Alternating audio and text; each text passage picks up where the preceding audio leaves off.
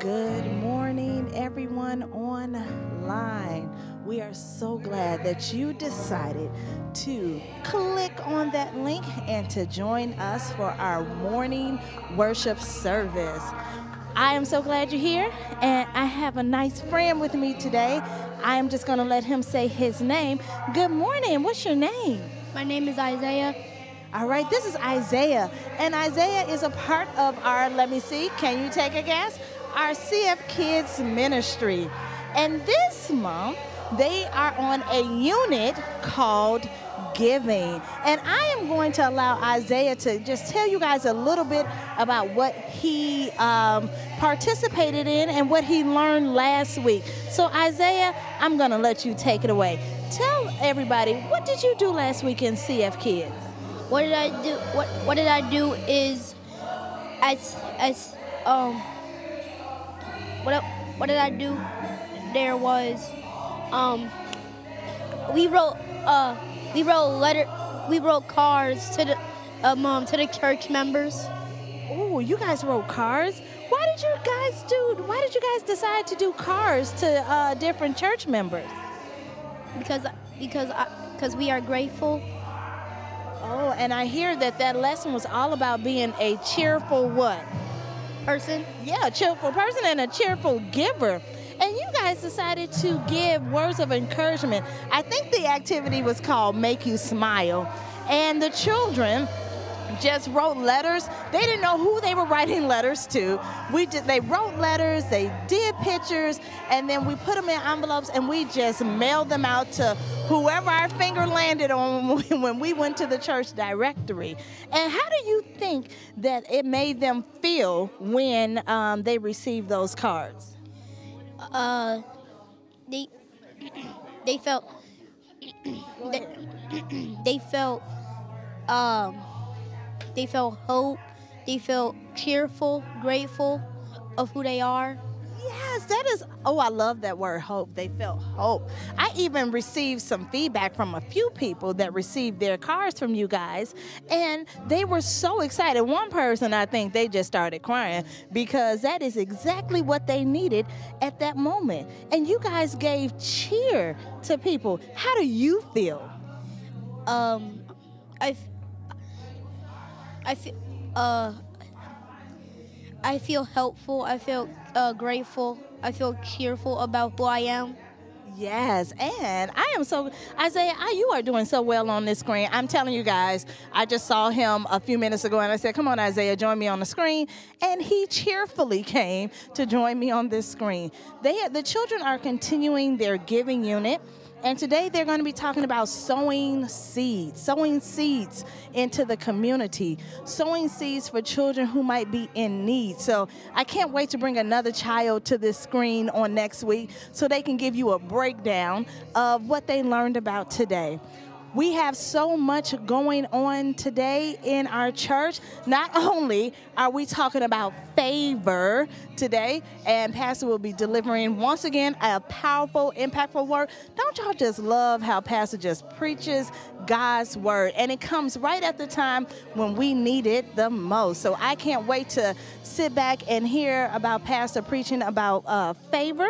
And, um, then we have our family giveaway for our diaper giveaway. So if you are a family in need or you know a family in need who might need a little diaper support to help them through this transition, please come on. Come on up to Covenant Faith between 115 and 215. And our outreach team, which is uh, led by Sister Dolita Hobson, they will be there to help serve your families if your families are in need. Um, so we are excited about everything that is happening. We have so much other things that will be going on soon. And once again, we are here to help you and everyone else believe that the best is yet to come. Get those notebooks out, get it ready, because when Pastor is preaching, we want you to jot down those those key ideas and don't just jot them down and storm away. We need you to apply them in your daily walk. Do you have anything else left to say? No?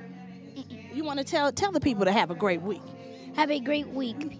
Have a wonderful week. Remember, the best is yet to come. See, ooh, ooh. I'm sorry. See you later, everyone.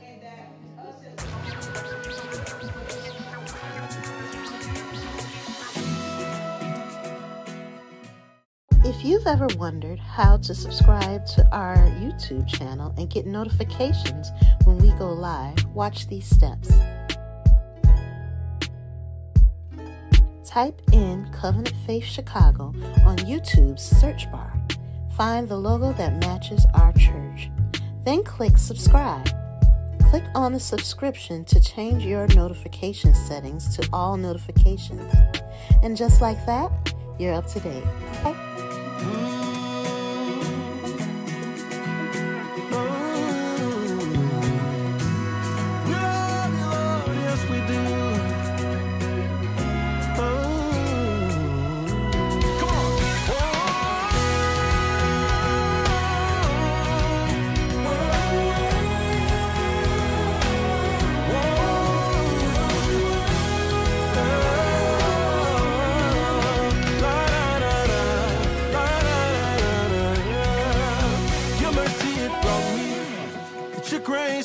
touched me. Your blood, it washed me from all sin. No way that I can be without your mercy. So I thank you for unlimited grace. Your mercy on me. Ooh. Your grace that keeps me. Your blood, it washed me from all sin. From all sin. Ooh. No way that I can be without, without your mercy. Your mercy.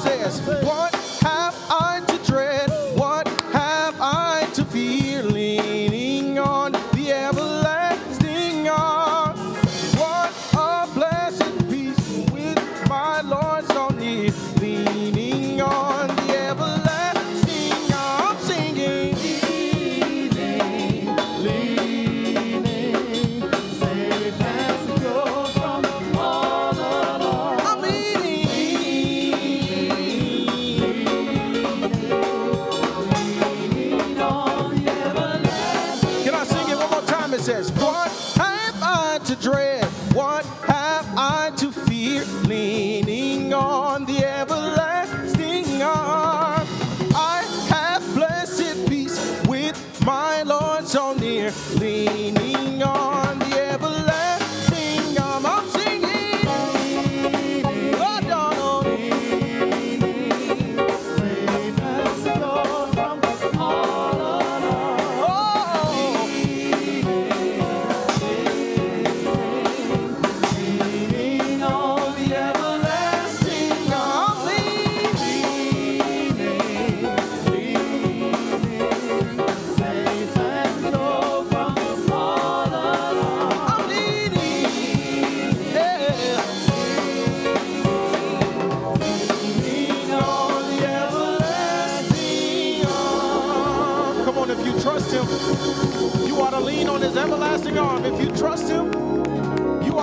on his everlasting arm.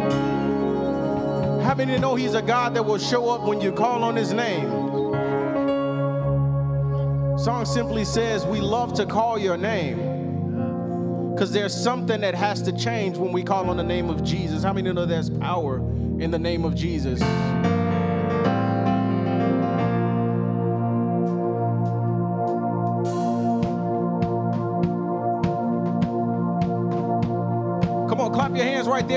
power in the name of Jesus.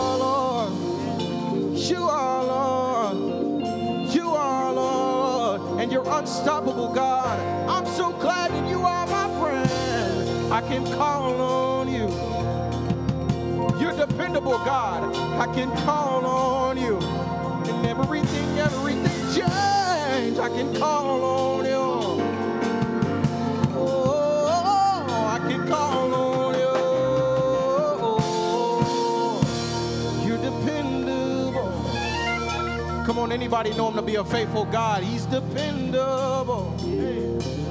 Never fails to show up on my behalf. You're dependable, God, you are, yeah.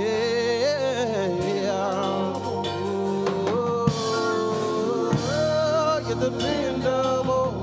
Yes, you are, yes, you are. Oh, you're dependable.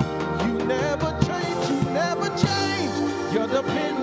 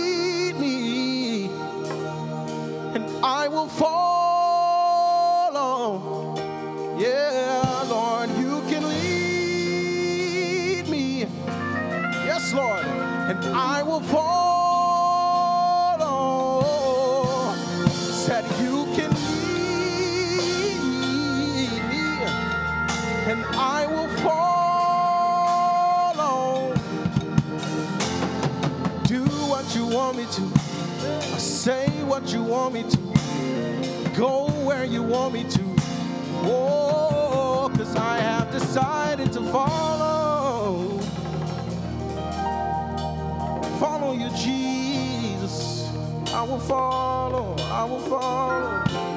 Yes, I will, oh God, yeah, oh no. Somebody knows where I'm going with this. This song says, I have decided.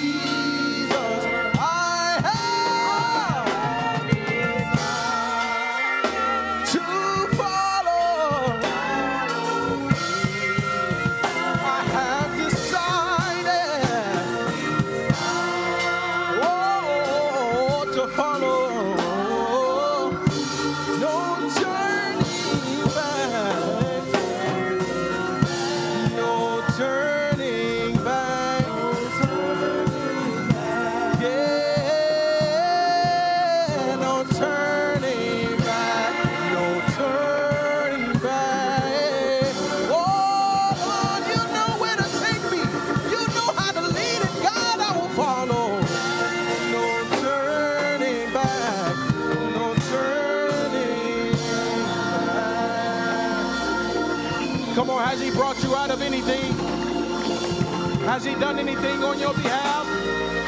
To where you can say that I'm not turning back, I'm not going back, I'm going to continue to follow you as you lead me, as you guide me.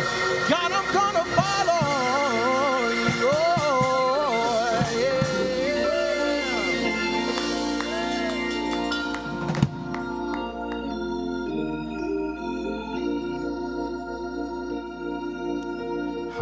Hallelujah. Anybody glad to have decided to follow Jesus? Thank you so much. It is a joy and a privilege. Let's look to the Lord in prayer, shall we? All over the room. Would you pray with me? Great and most heavenly Father. God, we realize and recognize that there is no other name under heaven by which humanity finds salvation. Today we have gathered to lift up one name and one name alone, not our mama's name, not our daddy's name, not the name of the preacher, the denomination. We came this morning to lift up the name of Jesus. So, all over this room, Spirit of the living God, here we are found giving you the praise because we followed you this far through many dangerous toils and snares. The Lord has brought us, and we call your name Ebenezer, for hitherto you have carried us. You are Emmanuel, the God who is with us. You are the rose of Sharon, that even in the valley of the shadow of death, you've still been beautiful, you've still been providing. And God, today we've gathered here to say that great is the name of our God. Great is the name of our God. Hallelujah to that name. That name that is greater than the grave. That name that is greater than sickness. That name that is greater than poverty. That name that is greater than any other name. So today, won't let our sorrows, we won't let our troubles, we won't let our problems rob us of the opportunity, of the chance to stand in your sanctuary and make the devil mad by lifting up the name of Jesus. We won't let rocks cry out in our place, for the name of the Lord is worthy to be praised. Hallelujah. Hallelujah.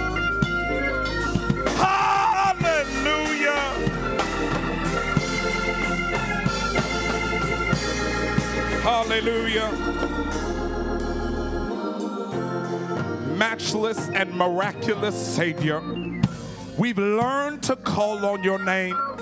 So today we thank you for being the God who doesn't just listen to our prayers, Because, God, if all you did was listen, we might have to accuse you of gossip.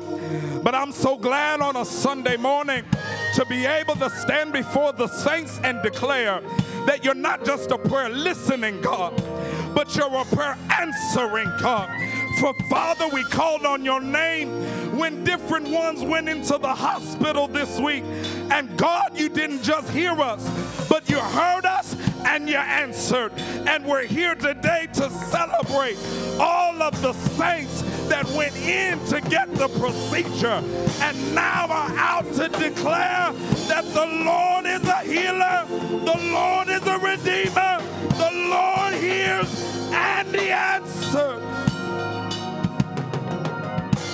We thank you, Lord, for keeping, for covering, and for protecting your people through dangers seen and unseen, through trials and tribulations. You have kept us. So, God, we're going to keep on trusting you.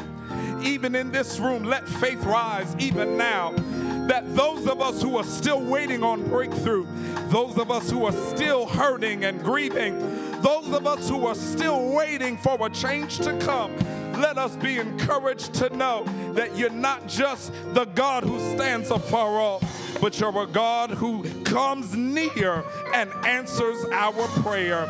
We thank you and we praise you. Now, all over the room, will you join me in thanking our great and glorious and matchless and awesome and powerful and omnipotent and awesome and magnanimous our God who rules over all? Hallelujah. We thank you, Lord, for hearing us when we pray and answering us every time. In Jesus' name, let the people of God shout amen together. Come on, shout amen together. Hallelujah. Would you do me a favor? I know, I know not everybody feels their help. You know, you got to stand and feel your help sometimes, and those knees just don't want to cooperate. I know. But if you would please, if you're able, would you stand on your feet and greet somebody in the room? Shake a hand, uh, give a wave. Let somebody know you're glad to see them in the house of the Lord.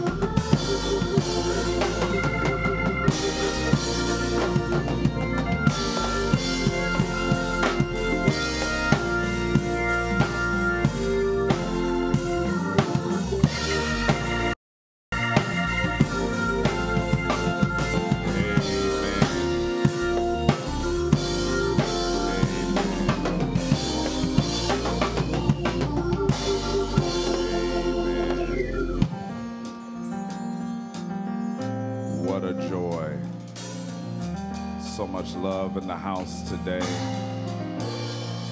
Good to see the people of God in the house of God, sharing the love of God. Amen. Amen.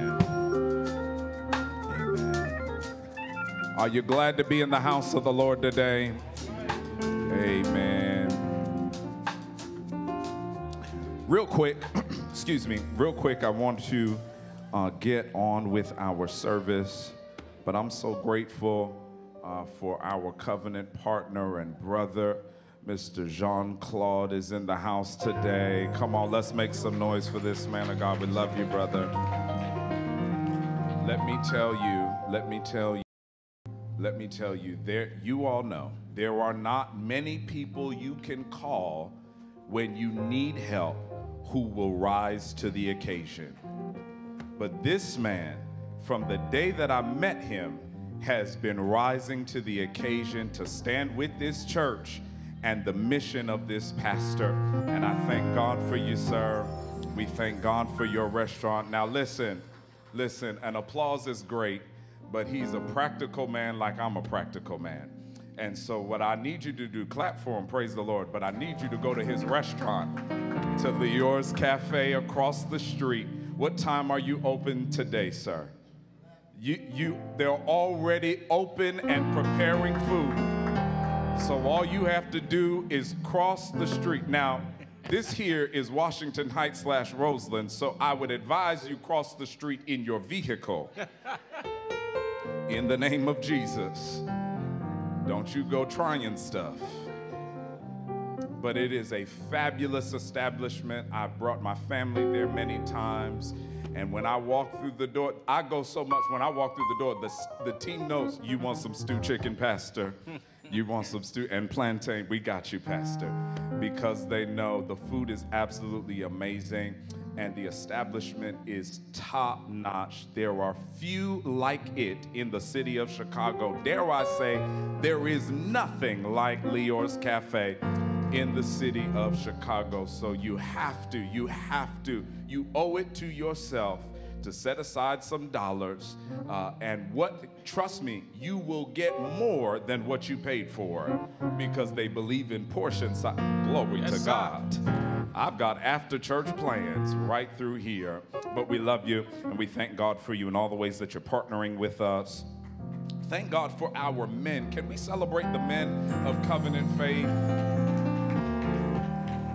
God for these mighty men in Zion, Brother Jeff Smith and uh, Kevin Dantzler and others, so many like them, uh, that stand and make sure that there is uh, a representation of men of standard. And you will see those announcements in your bulletin.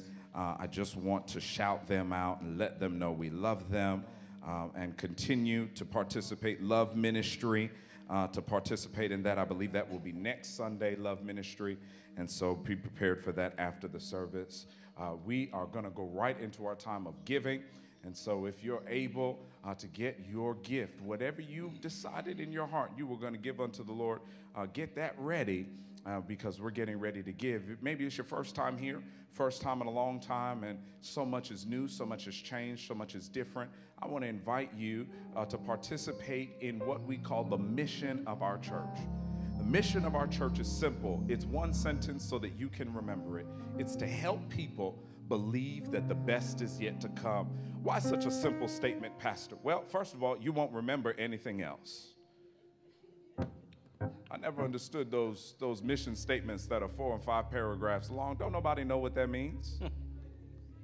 You should be in the grocery store, on the uh, in the Uber ride. You should be uh, on your way downtown, and somebody stop you and ask you, "What is your church about?" I, I had a meeting with our sound man. We were talking about the future of the church, and uh, right there on on the lunch line, right there, our server asked me. I was wearing a Covenant Faith sweatshirt. Asked me, "What's your church? And what's it about? And what's this? And what's that?" And I was able to give an answer that fit in the time. I can't say, well, turn with me in your Bibles to the book of Matthew and 5. You ain't got time for all that. Helping people believe the best is yet to come. That makes sense. And you know what that boils down to?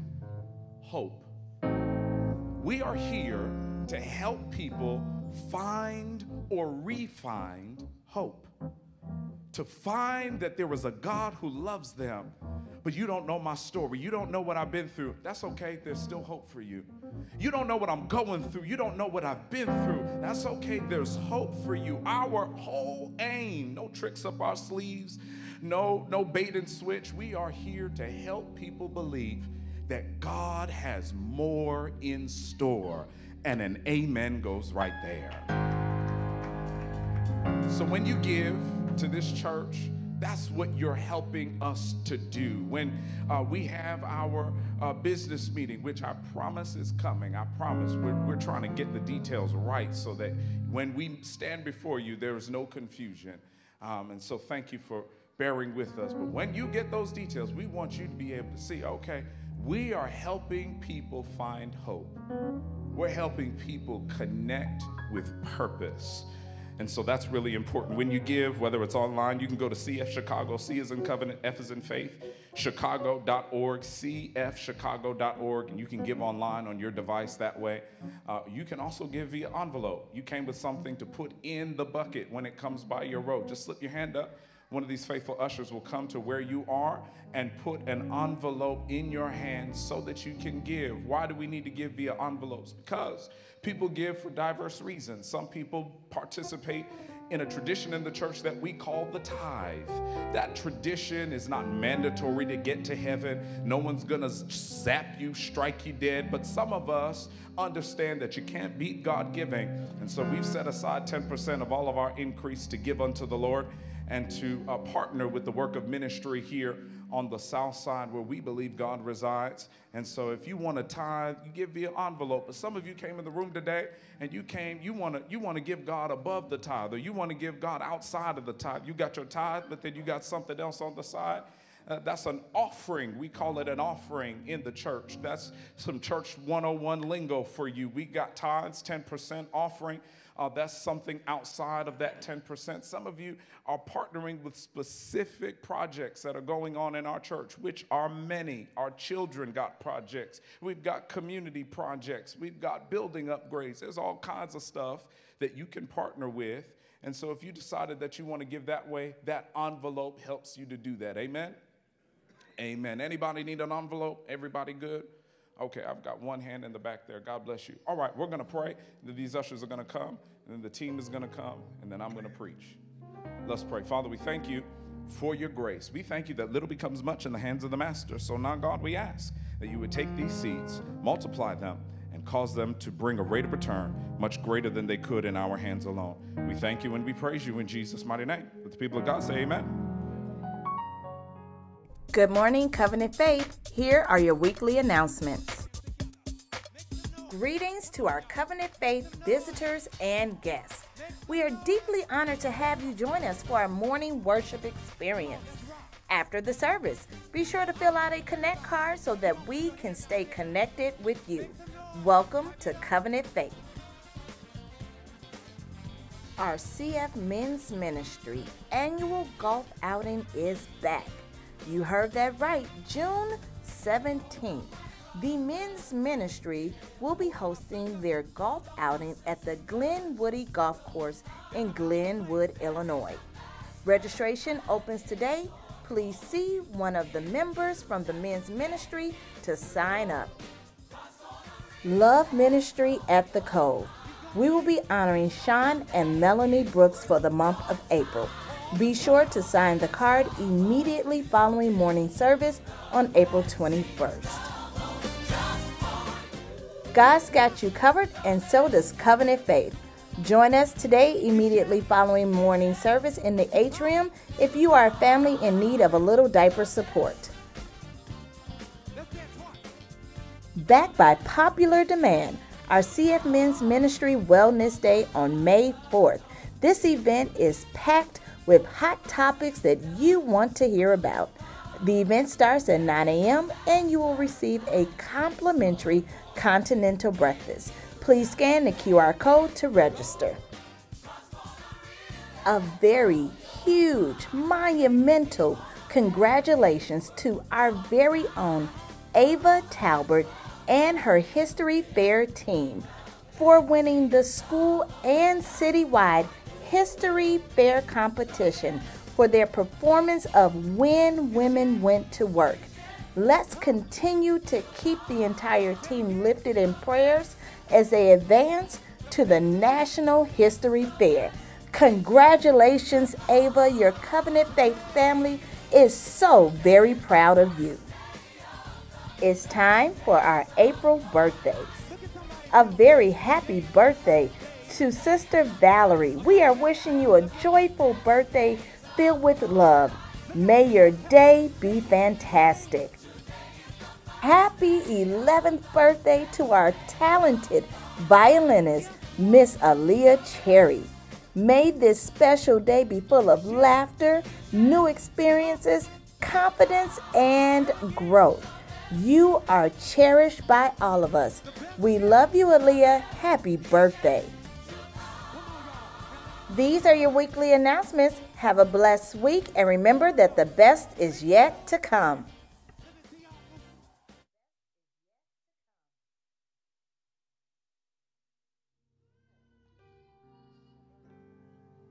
Amen. The best is yet to come. You ain't seen nothing yet. Amen.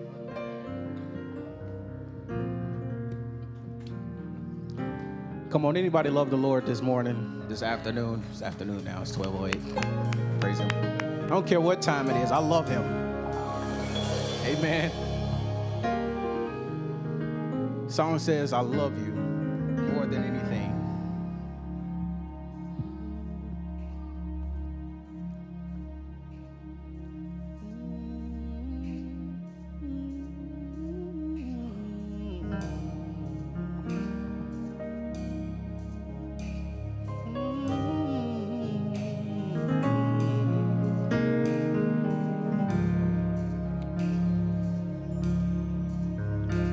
I lift my hands in total adoration unto you. You reign, you Reign on the throne. for you are God. For You are God and God alone. There is only one God. Because of you, my cloudy days are gone. I can sing to you. I can sing to you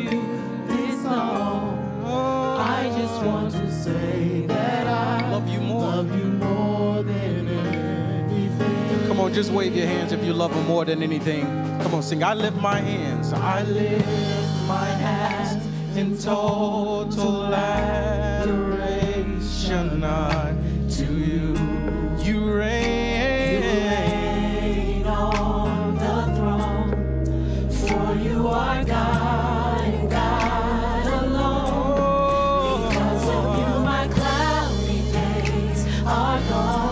I can sing to you. I can sing to you this song. I just want. I just want to say that I love you more than anything. Come on, real quick. The song says, Love me in your arms. Love me in your arms. You are my shelter from the storm.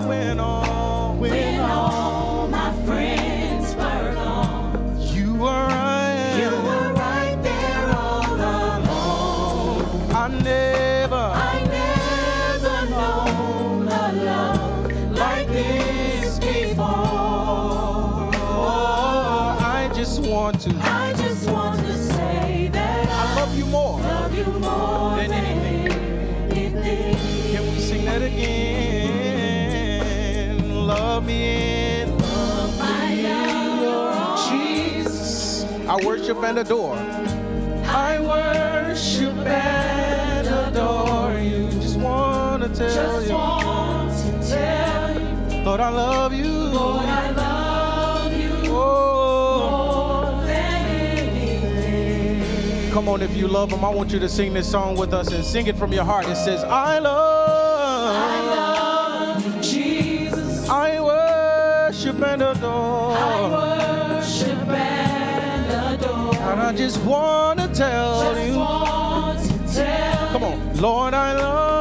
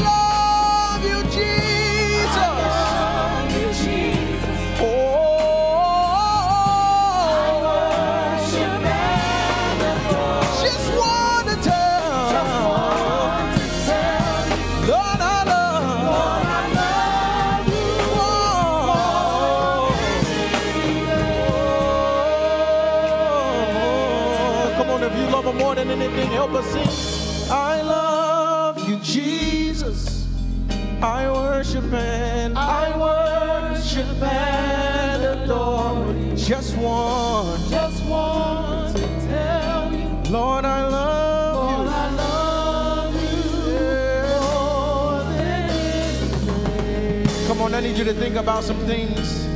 Think about some things He's done for you. Just tell Him I love you. Sing. I love Jesus. I worship and adore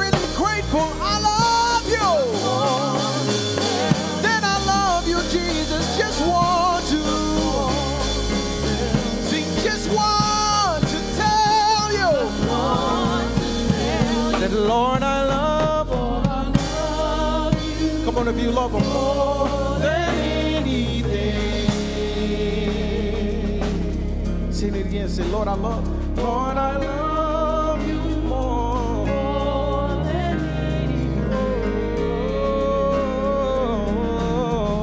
Lord, I love.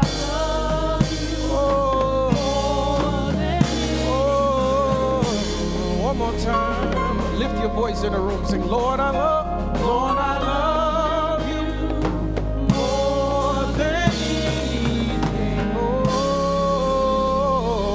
Now, pour out your love on Jesus. Pour out your love on him. He's such a good God and he deserves our praise. He deserves our worship just for being who he is. God, I love you. Oh, no. Love you more than anything. Nobody else can do what you do for me, God. Nothing can take your place, God. I love you more than anything because I can't count on anybody else. I can't count on anything else. There's nobody greater than you. I've searched high and low. I couldn't find nobody, nobody greater than you. Yeah. That's why I love you more than anything. Because you can do it all and you do it all for me.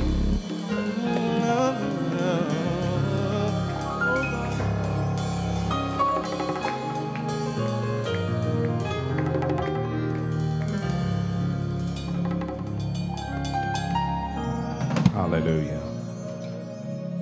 Lord, we love you today. We honor and we adore you. We just came to let you know that we're grateful, we're thankful, and we're glad to be in your presence. In the name of Jesus. Now, God, as we prepare, we've sung, we've sown, and now we ask that you would speak. We thank you and we praise you in Jesus' mighty name. Amen and amen and amen. Can we celebrate the Lord? Can we thank God for this amazing worship team and all of their service and sacrifice unto the Lord? Amen. I thank God for these faithful servants. And all that they do. Amen. I've asked our media team today uh, to help me begin this uh, sermon, this preaching moment, in an uncommon way. In an uncommon way. And so I've asked them uh, to help me. I want to open with a fun little video clip uh, that. Uh, shots. How was this a collection of effort tonight to achieve perfection? It has been enhanced, enhanced with some elements uh, that are familiar to the black church tradition. And so I want you to listen to this message uh, as it gets ready to play on the screen. I believe it will contextualize for us uh, our sermonic moment. Are we ready? Amen. I gotta give, I gotta give honor to the Most High God for allowing us to be back at the same place in which we had sad tears. And I just want you to know that the God I serve, the God I serve, when He closes a door, He opens up a door that is that's giving you unimaginable success. This is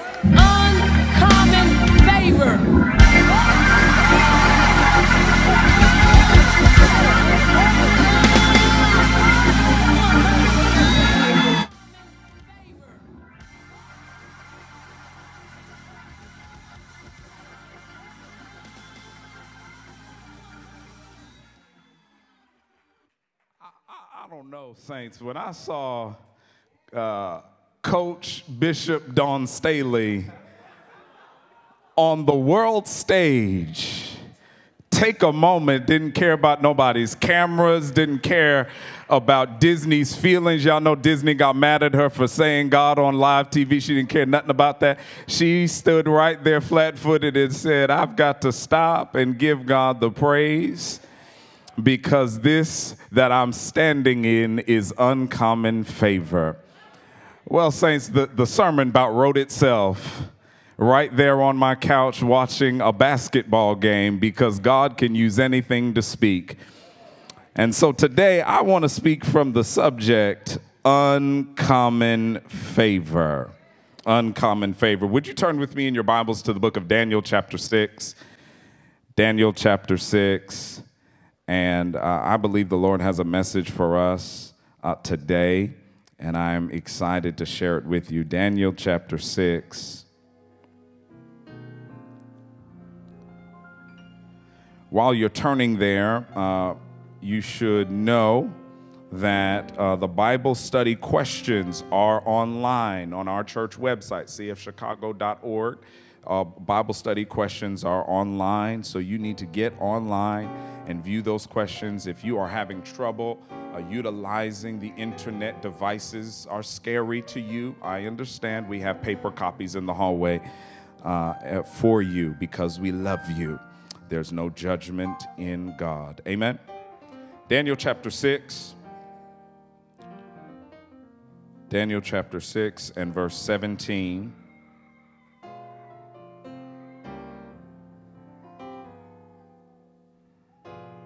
Daniel chapter 6 and verse 17.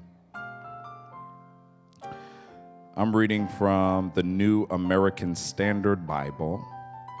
The text reads this way A stone was brought and laid over the mouth of the den, and the king sealed it with his own signet ring and with the signet rings of his nobles, so that nothing would be changed in regard to Daniel.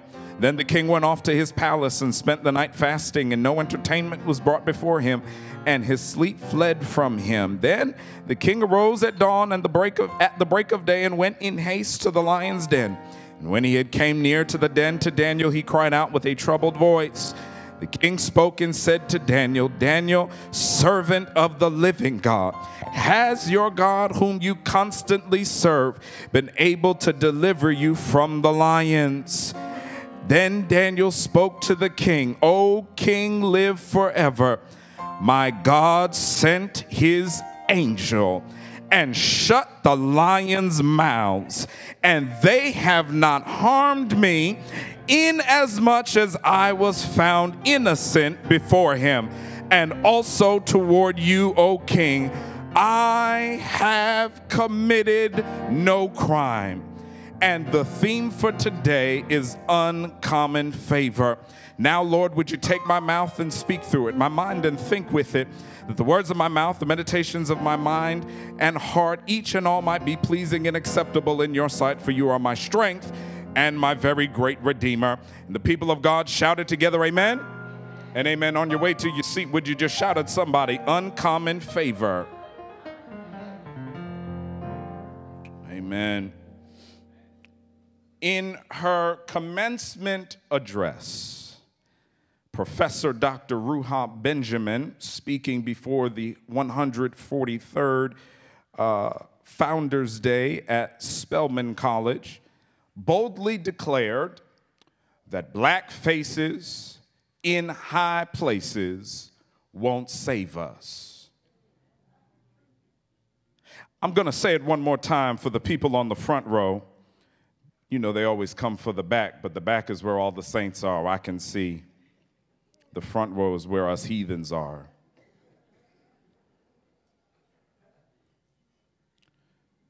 Black faces in high places won't save us.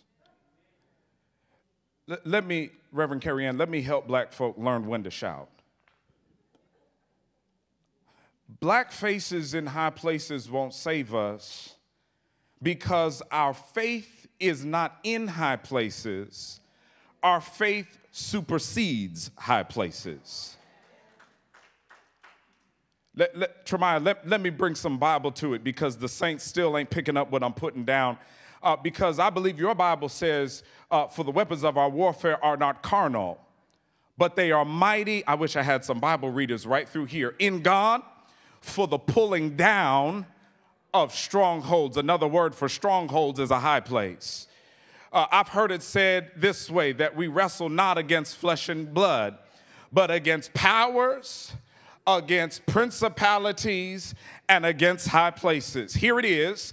Uh, the reason that respectability politics will never fix the neighborhood is because God is not concerned with places or positions of human power so much as God is concerned with the hearts of humankind being turned back to Him. I wish I had about four saints right through here that could put aside their title and put down their resume and lift up the bloodstained banner and right through here say, I've been fighting on the Lord's side and I'm not tired. I'm not tired yet. I, I wish I had just about five saints who could say, I'm in the Lord's army. Y'all remember the old Sunday school song?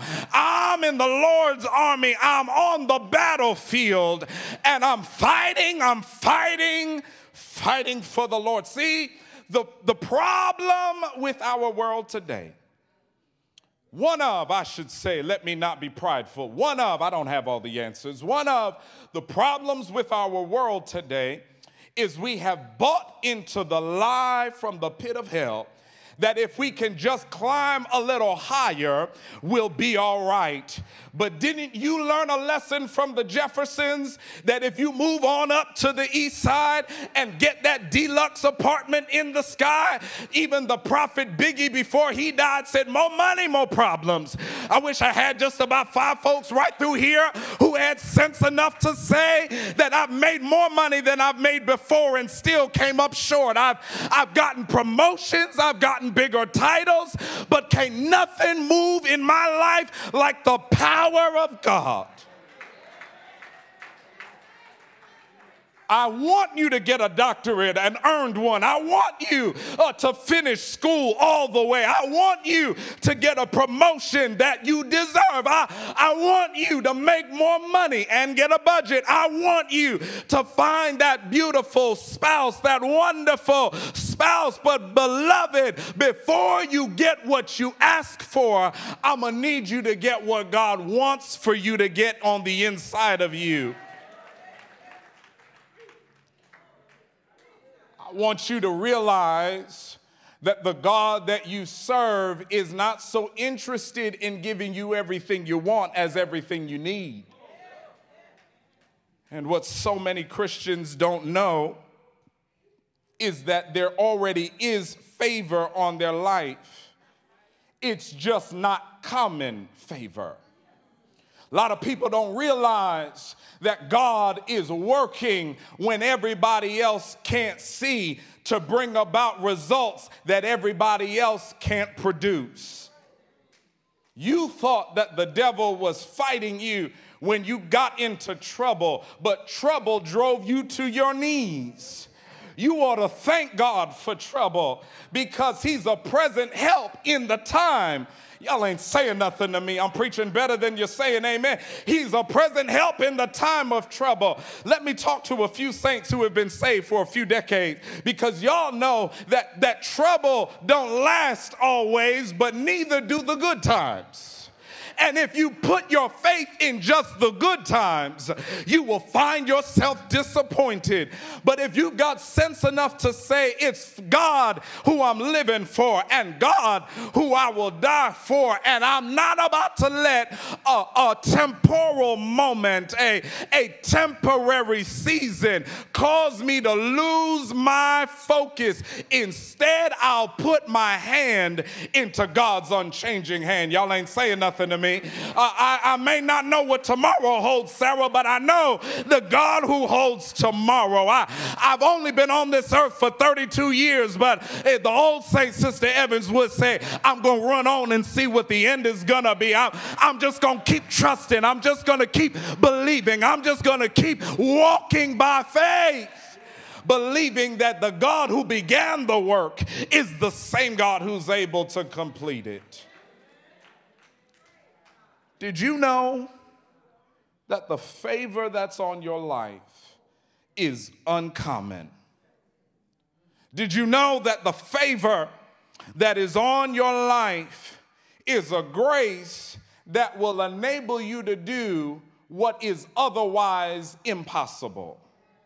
Did you know that the favor that's on your life is not just the kind of favor that shows up at the car dealership or at uh, the bank where you get bank error in your favor? You can play Monopoly and get those odds. The, the favor that's on your life is the kind of favor that what everybody else calls calamity, you don't call calamity. The favor that's on your life is peace that surpasses understanding. The favor that's on your life is that when death, hell, and the grave rear its ugly head, you are able to say, Yeah, but my God, hallelujah, shall supply all of my needs according to his riches in glory. So I'm not worried about what life will bring. I'm firmly saved and secure in the Master's arms. The favor that's on your life is not common. And you ought not allow life to push you around. You ought not let the devil make you feel a certain type of way just because you didn't get your way. You have to remind yourself that you didn't put you here, and so you're not in charge of keeping you here that the same God who put breath in your body is the same God who's able to put breakthrough in your life. The same God who wills it is the same God who will foot the bill for it. The same God who caused the sun to rise is the same God who will cause his face to shine upon you. The favor that's on your life is uncommon. And so that brings us to our text today because uh, the central figure in our text is a man by the name of Daniel.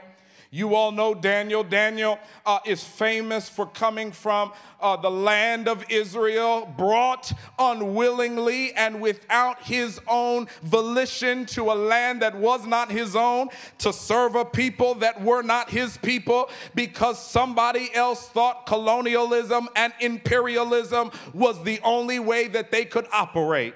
I wish I had time to break it all the way down the way that I feel it, but just know this the Bible does deal with issues of oppression. So we cannot afford to have a faith that shies away from systemic injustices because they are present right here in the text.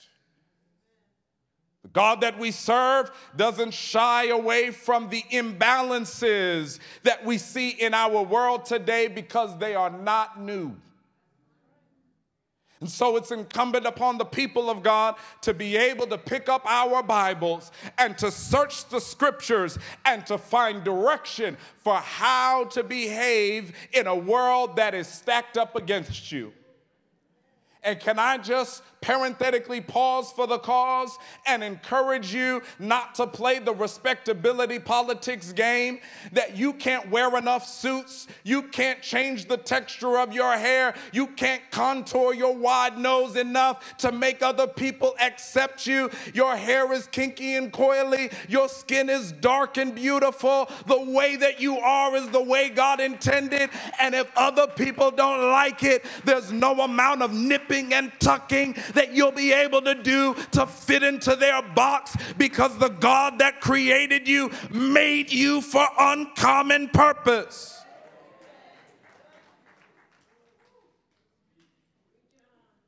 So then, here is Daniel, a foreigner in a land that's not his own. And he has risen to the highest ranks of government. And while he is there, trouble comes to find him. Uh, text goes on to teach us uh, that all Daniel did was have a prayer life. Can I tell you that the areas of your life where you see the greatest attack is an indication that that's where you are most dangerous to the devil? Can I let you know that if you're struggling with sobriety, that means that God that God placed in you such a wonderful gift and such an awesome personality and thought pattern that the devil will do anything to alter the chemical makeup of your brain? Can I let you know that if you struggle with being in relationship after relationship and you can't hardly seem to just sit alone with yourself, it's because the devil knows that if you ever get a hold of your vessel and understand the value that's in your body, that you'll be able to impact generations for generations to come. Can I let you know that if you struggle with self esteem, it's because the devil knows that if you ever look in the mirror, mirror and realize that you are indeed a man or a woman of God, that you'll turn this world upside down. Can I let you know that if you struggle with being honest, it's because the devil knows that a lie in your mouth is better than you telling the truth to power. Because if you begin to tell the truth, then all of a sudden stuff's gonna start changing, and we can't have that. Can I let you know that the place that you struggle the most is not a place for you to be ashamed, but a place for you to go get some help because once you turn that thing around, you will begin to see the purpose of God align in your life. See, the God that we serve, He's not common. Because the common response to struggle is what? Judgment. You know how we do. If someone's struggling financially, we Ooh, what happened to them? If somebody struggles in a relationship, mm-hmm, I knew something was off. If somebody's struggling with their physical ailments, see, doing all of that, fill in the blank. We have a lot to say about people, but we very rarely take the time to talk to people. And the God that we serve is more interested in bestowing his uncommon favor upon the lives of all people. That's why he said, In the last days, I will pour out my spirit upon all flesh. We're so busy trying to figure out who we can keep the Spirit of God from when God is trying to figure out how He can get it to folk. He don't think like we think. He don't move like everybody else's God moves. He doesn't do what you would expect him to do. He does the uncommon. And here is Daniel. I told you he's a foreigner. I told you he's risen to the highest levels of government. Effectively, he is the number three ruler in the land of Babylon. And there in Babylon, he has a great degree of authority. And you should know that with great responsibility comes great trial. That the more you are in charge of, the more things will charge at you. Don't believe me? Try to lead something you will find that everybody who was your friend when you were an associate all of a sudden has an issue with you when you become a manager.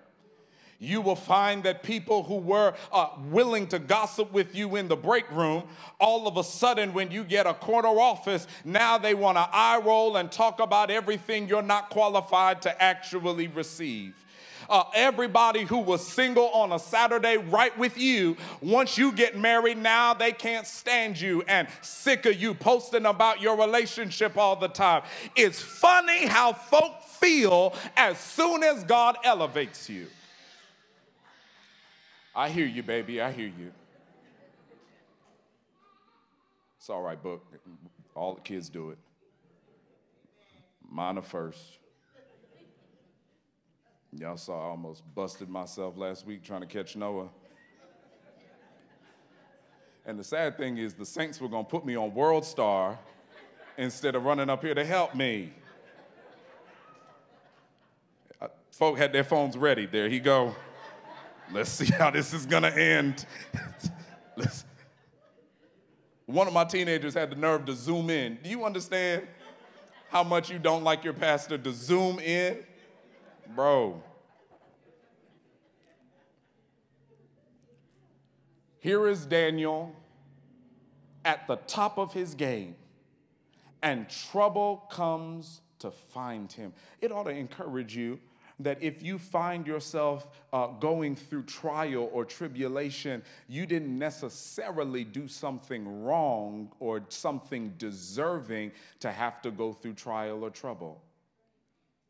Yeah, there's, there is this there is this pervasive theology and i got to i got to move on but i got to say this to you. There is this pervasive theology that when things go awry in your life uh, people begin to tell you all the things you've done wrong if you find that there is a struggle in your household, people start blaming you for not serving the Lord enough. Well, you know she's not a tither. Well, you know he don't come to Bible study. Well, you know, well, you know, well, you know, and they know so much but the truth.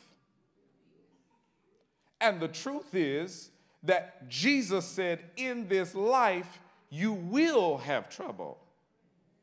Brother, oh, I thought a few folks would have said amen with us, but it's just you and me in the room. That, that trouble will find you in the highest of heights and at the lowest of lows. Trouble ain't racist, sexist, classist. Trouble don't have no issues with the isms. Trouble is an equal opportunity employer. They might have repealed uh, affirmative action in the Supreme Court, but trouble didn't pay no mind because it will advance trouble right down your boulevard, right quick and in a hurry. Here is Daniel faced with trouble. And while he's facing this trouble, the Bible says that he goes on to pray. You got to read Daniel chapter 6, the whole chapter, to get the story. But he, he goes and he prays. And when he prays, watch this, he gets in deeper trouble. Let me just help some of you in your theology that believe that uh, you can pray one time, God will pick it up, dust it off, turn it around, and you will never have any issues for the rest of life. Uh, can the saints who have been saved for a little while just come for me with an amen that you're going to go through some stuff and then you'll go through some more stuff? I, I wish I had just about five saints right through here who could just bear witness to the fact that you can do everything right and everything can still go wrong. And that if you don't have enough character and enough steel in your spine to stand up and still give God the glory when everybody's hating on you, when everything's going wrong for you, when things aren't lining up the way that you had initially drawn them out. If you can't stand there and still open up your mouth to say, you know what, God was good in the sunshine, but He's also good on the rainy days. God is good in the good times, but He's also good in the sad times. If you don't have sense enough to acknowledge that He at least gave you breath in your body, He at least put strength in your bones, He at least caused you to see a brand new day, then your faith is in the wrong thing. Daniel did everything right, and still everything went wrong. There are three things that I want to call your attention to before I close that are in this text. Three, three symbols, three themes that I want to call your attention to, uh, and then we're going to go home. Three things that I, I need you to see about the uncommon favor that God put on Daniel's life because while he was elevated to the highest offices and while he was promoted, there were homegrown folk that didn't like that he passed them up. Homies who uh, had been there longer than him, folk who had felt like it was their turn and saw their turn pass them by. And here is Daniel going at a rate that is uncommon. It's not normal to come to somebody else's country and be in charge of it. It's, not normal uh, to be picked up from your home and thrust into another place and taught a new language and forced to accept new customs and still be able to thrive.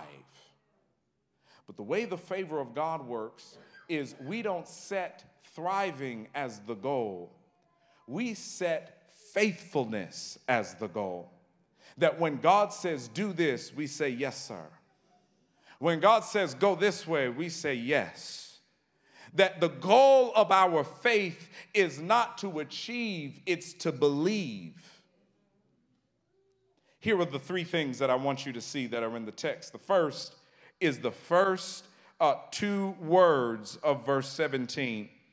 Verse 17 uh, opens up in the New American Standard Bible, it says a stone. In other versions, it says the stone. I want you to consider the stone. Second thing uh, that I want you to see, uh, it shows up in verse 20. In verse 20, uh, the text tells us uh, that uh, when he had come near to the den, speaking of King Darius, when he had come uh, to the den, he, he cried out with a troubled voice. I want you to consider the cry. The third thing uh, that I want you to see that's in this text uh, I want you to see it shows up in verses 21 and 22, uh, where Daniel speaks to the king and he gives his testimony. I want you to watch the witness.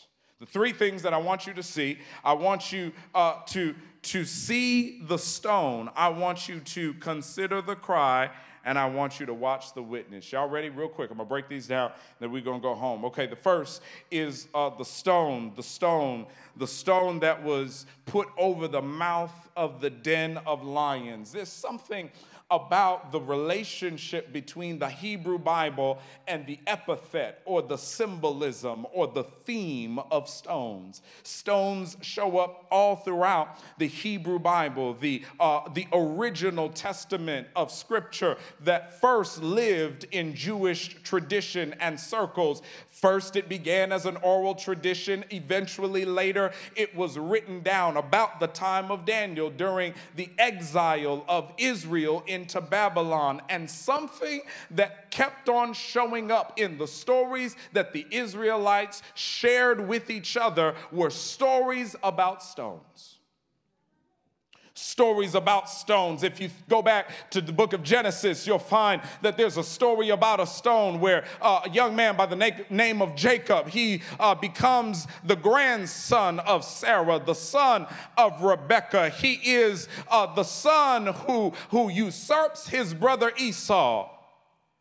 And and he he takes his brother's birthright uh, for a bowl of soup. And and when his brother figures it out he gets upset. And long begins this uh, and there begins this long battle between the brothers that results comes to a head an intersection where esau is on one side of the river and isaac uh, excuse me and jacob is on the other side of the river.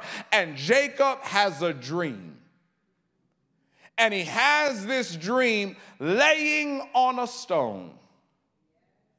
I, I wish, I wish y'all read the Bible uh, with some honesty because you know as well as I do that can't nobody get no sleep laying their head on a stone for a pillow. And an amen goes right there. Don't you look in your sanctified, judgmental voice. I know the truth will set you free. Don't nobody go to sleep. I know some of you like a harder mattress to sleep on. I get that. Some of us grew up making pallets on the floor so we could sleep in the same room as our cousins. I understand all that. I, I get it. But but don't nobody go outside and say, hmm, Tempur-Pedic, stone, Tempur-Pedic, stone. I'll take the stone. You gotta be in a bad place.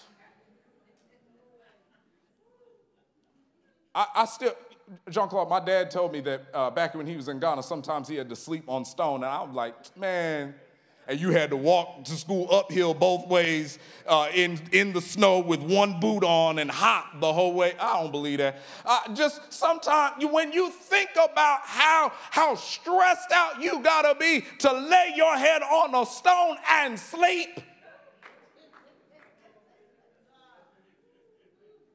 The, the next time you feel stressed out, just remind yourself, at least I'm not sleeping on rocks.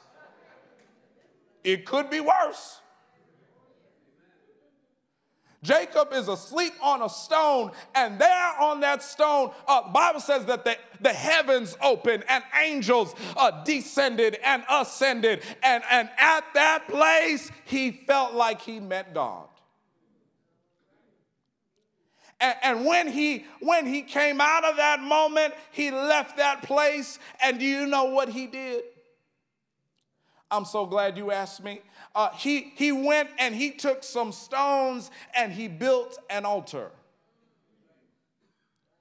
And he took uh, that altar and he named that place Bethel. Bethel in Hebrew, when translated to English, means house of God. Here is something about the stones, the, the, the stones that show up in our life. Let that represent the stress because stones can be stressful. You know, they used to say on the playground, sticks and stones can break my bones, but words will never hurt me. But that was a lie from the pit of hell. Whoever came up with that didn't go to school with black kids. Because let black children find something wrong with you, it's a wrap, Jack. You ever played the dozens with your cousins? You in there fighting for your life. Well, well, well, no, no, no, no, hold on, hold on. Well, well. Played your mama jokes games and then it gets serious. At first it was cute, but then they said something that kind of hit. Sticks and stones may break your bones, but the words can hurt too. The stones that we face in this life, they can be harmful all kinds of stressors. All kinds. Have, have you ever been for, for the sisters in the room have you ever have you ever had to raise children?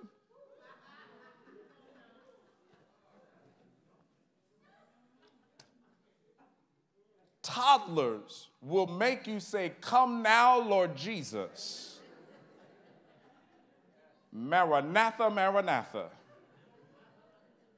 Anytime you want to crack the sky you could just take me. You could leave them here for a little bit. Just take me. To all the brothers in the room, have you ever have you ever gotten home from work and just sat in the driveway?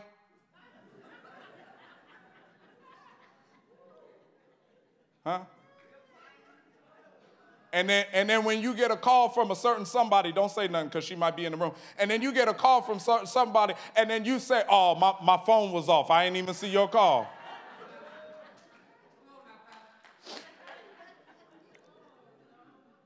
Life can be stressful. Life can be stressful. But, but something that blesses me is that the same thing that, that Jacob had to lay his stressed out head on became the very thing that he arranged in such a way that it could give God the glory. I, I want to just tell you rocks are rocks. Ain't nothing special about no rocks. But when you stack those stones in such a way to say, this is going to become a platform upon which the story of God can demonstrate the glory of God, uh, it all of a sudden gives you a new strength and a new power. Here it is. Uh, when Coach Dawn Staley uh, took that basketball court with her team last year, they were the underdogs and they lost. And everybody criticized and told them what they were not and that could have become a stressor, but instead it became a motivator. And this season, Coach Dawn Staley and the South Carolina Gamecocks not only went undefeated, not only uh, defeated every adversary that they came against in basketball, but then on the largest stage, the coach was able to lead her team to say, had it not been for the Lord who was on our side.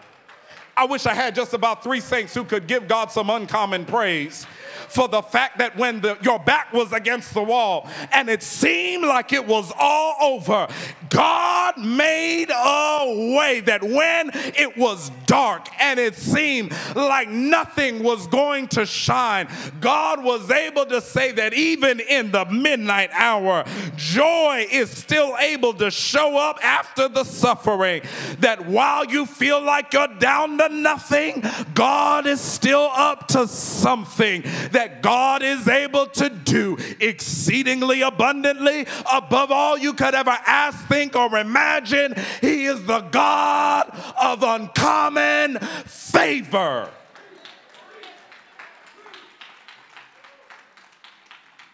So the next time you face some stress, stack the stones.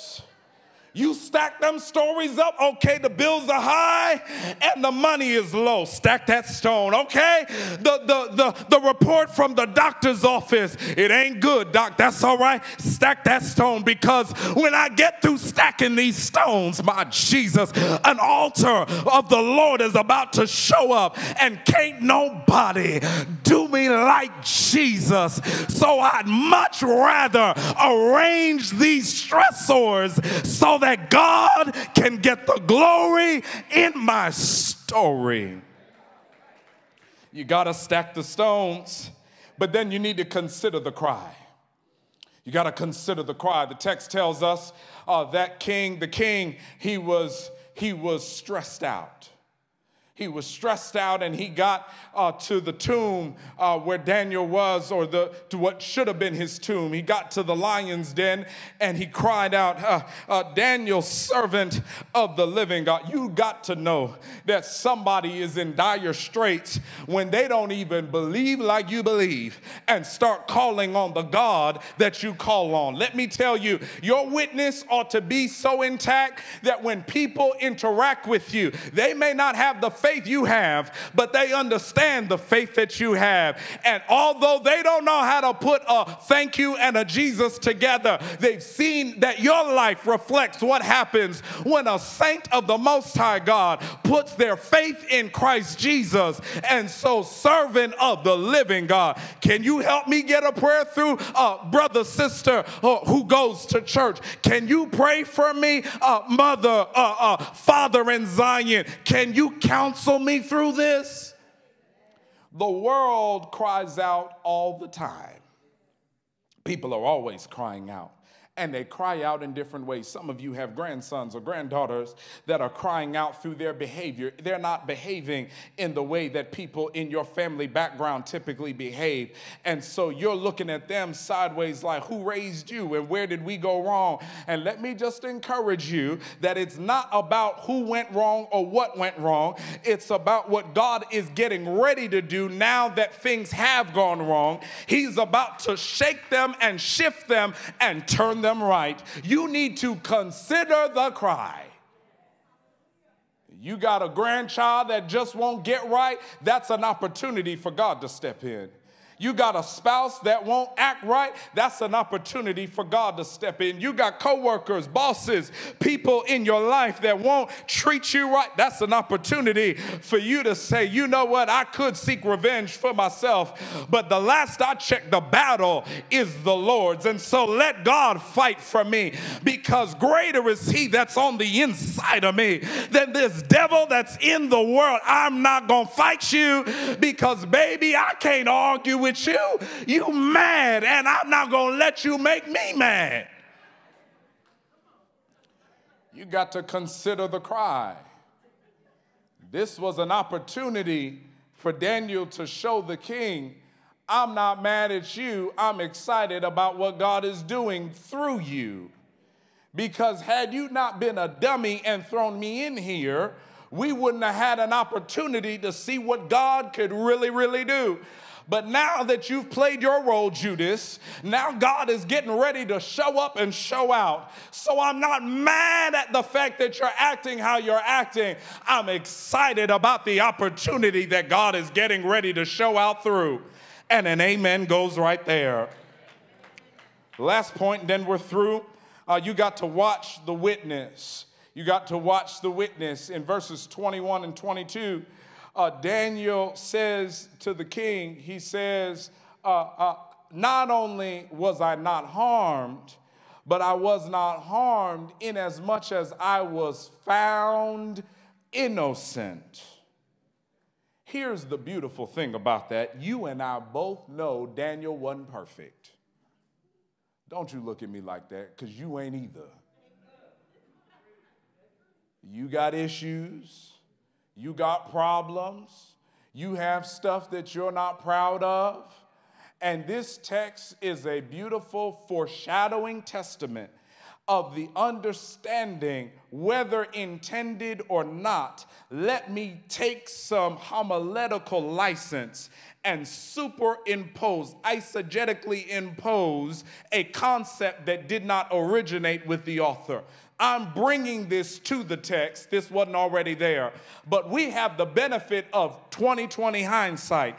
And looking from where I'm looking, I'm saying that maybe, just maybe, Daniel understood that when God looks at us, he doesn't just see our wins and losses, but when he looks at us, he sees that we're covered by the blood. I wish I had a witness in the room today. When he sees me, he doesn't see all the times that I've messed up. He sees all the times that God uh, covered me and protected me. And because of the finished work of Jesus on the cross, I'm no longer defined by what I get right, and I'm not defined by what I get wrong. My testimony is that late on a Friday, he went up a hill called Calvary. And they hung him high and they stretched him wide. And there on that cross, he died till death died. He, he died all day Friday, died all day Saturday, but early one good Sunday morning. Y'all ain't saying amen like you've been blood washed, like I've been blood washed.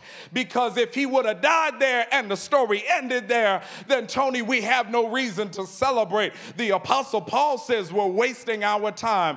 Oh, but thanks be to God that the story don't stop at the fact that he died. But early one Sunday morning, he got up, up out of that grave and resurrected and was able to say that death and hell and the grave no longer have have the power.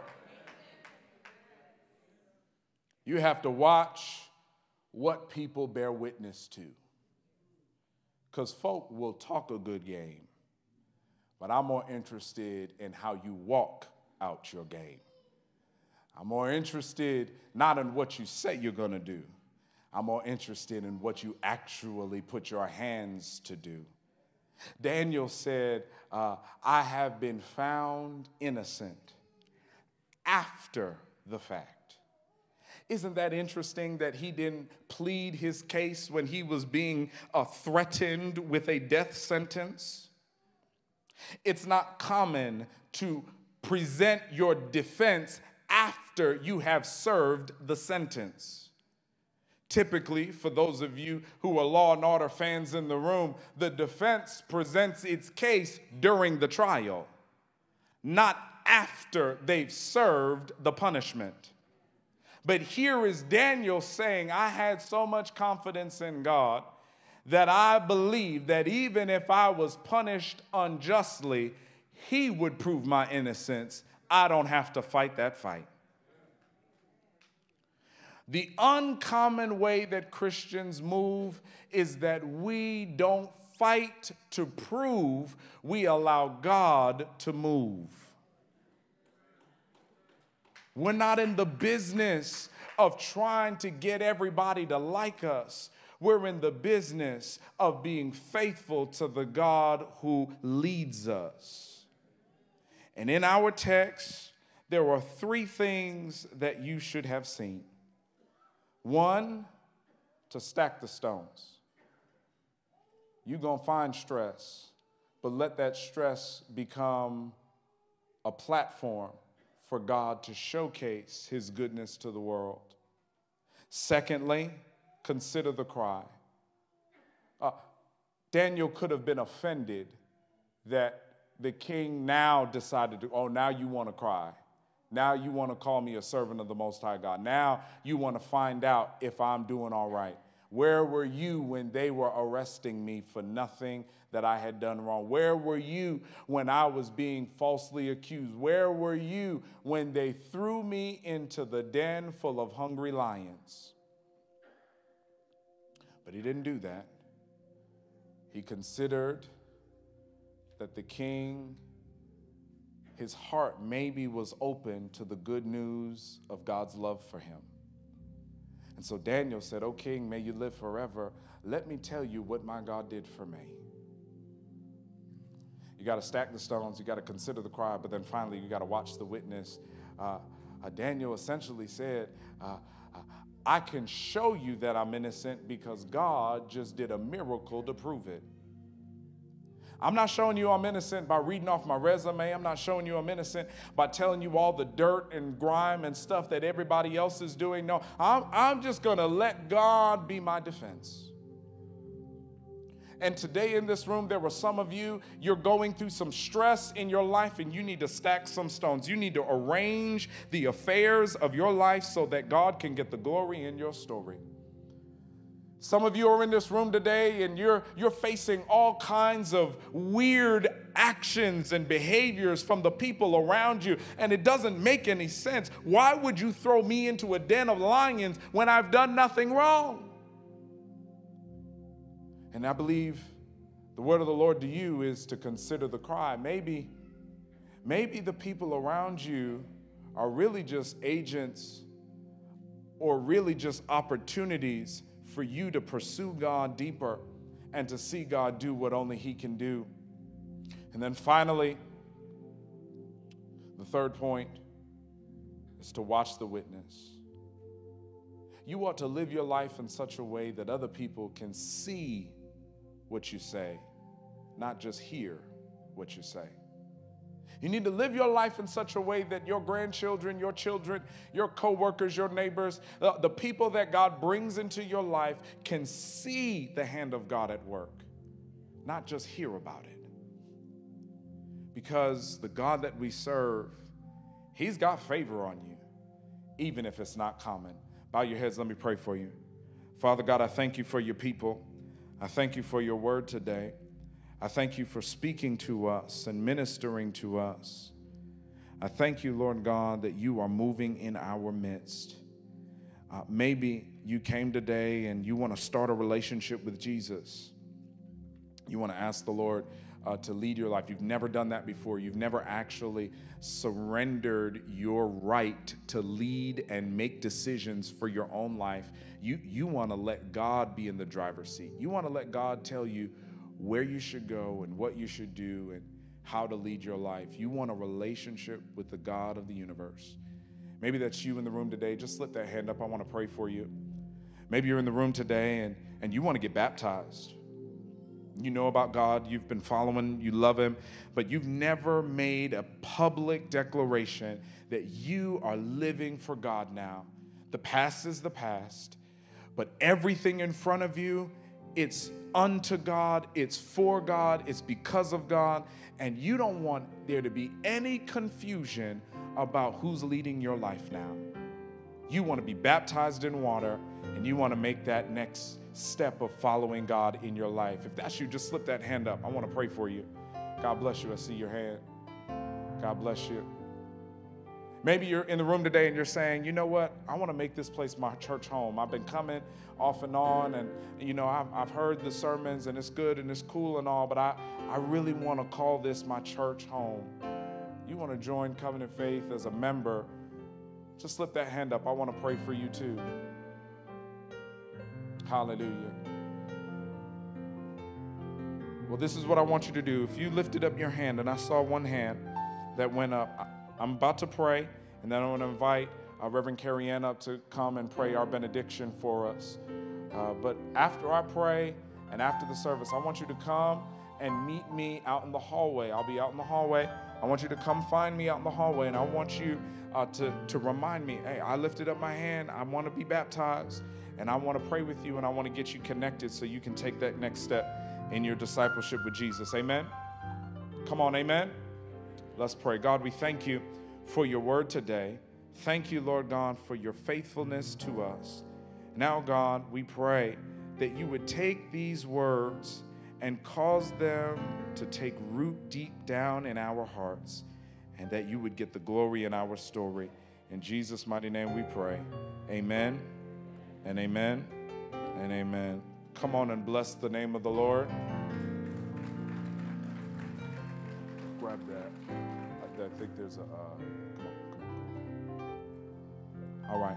Um, I also want you all to be praying for Pastor Jill and I. We have quite a bit of traveling coming up over the next month. Um, I will be preaching uh, uh, at Hope College in Michigan uh, for their chapel. We got to leave out of here in a couple of hours and, and go and preach to the students up there tomorrow morning. I'll be preaching their Monday morning chapel. Y'all pray. I got to get in and get out. They, they move quick over there at Hope College, so y'all be praying for your pastor. And then I'll be traveling as well. Some of the trustees have asked me to share with y'all when I'm traveling, so I want you all to know I'll be traveling uh, to uh, Fresno, California to preach for, for Bishop uh, Paul Binion and his anniversary service. And then uh, I'll be traveling to Virginia as well. Um, so, y'all be praying for us. Uh, we're going to have some amazing, awesome preachers over the next uh, couple of Sundays. I'll be here next Sunday, though. Don't worry, I'll be here next Sunday. Uh, but we're going to have some awesome and amazing preachers over the next couple of Sundays while Pastor Jill and I are out ministering the gospel. So, I want y'all to be praying for us. Keep us lifted in your prayers. Amen? Come on, amen? All right, welcome Reverend Carrie Ann as she comes to pray the benediction. Praise the Lord for the message, uncommon favor. And we thank God for giving us a servant who is so able to present the message to us. My prayer is that everyone has received something that they will take with them as the week goes on. Remember, as you go through, through the week, stack the stones, consider the cry, and watch the witness. I'm here to present the benediction, so if you would, and if you're able to stand, please stand with me. I'm going to read for you Jude 24 through 25. It says, To him who is able to keep you from stumbling and to present you before his glorious presence without fault and with great joy. To the only God, our Savior, be glory, majesty, power, and authority through Jesus Christ our Lord, before all ages, now and forevermore. Father, we thank you that you are with us during our challenges, during our struggles, that you're with us, Lord God. When we're experiencing issues, you are with us with uncommon favor. Father, be with us this week. Lead us and guide us and remind us, Lord God, to remember, Lord, what we heard today. Remember that in the time of trouble, you are an ever present help. God, we bless your name and we magnify you, for you are worthy. In Jesus' name, amen. You are dismissed.